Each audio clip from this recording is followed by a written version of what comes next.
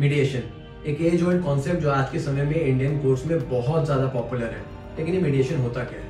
Mediation एक process होता है जहाँ पे कंटेस्टिंग पार्टीज़ को आपस में बैठाया जाता है और कोशिश की जाती है कि इनके बीच में एक सेटलमेंट को रीच कराया जाए। ये मीडिएशन करता कौन है?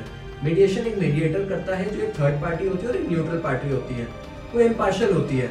उसका काम ये होता है कि वो पार्टी के बीच में इंटरेक्शन को फैसिलिटेट करे और एक कंड्यूसिव एनवायरनमेंट बनाए ताकि एक सेटलमेंट रीच हो जाए। मीडिएशन के बेनिफिट्स क्या है?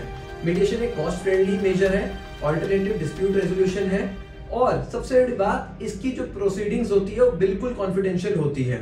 और अगर कोई पार्टी चाहे तो वो मीडिएशन से वापस भी हो सकती है, अगर उसको लगता है कि उसको मीडिएशन से कोई बेनिफिट नहीं हो रहा है। मीडिएशन आप पे तब तक बाइंडिंग नहीं होती, जब तक आप मीडिएशन एग्रीमेंट को एग्जीक्यूट नहीं करते हैं।